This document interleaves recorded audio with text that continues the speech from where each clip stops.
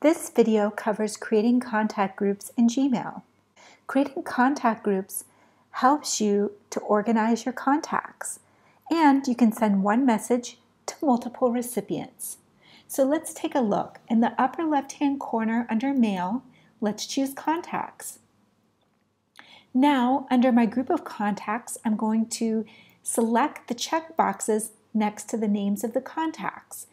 Then I'll go to the group icon and type in the name of the group.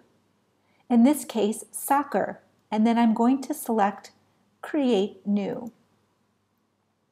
Now you'll see that on the left-hand side under My Contacts, there's a group for soccer. If I click on that, I can see all of the contacts in my soccer group.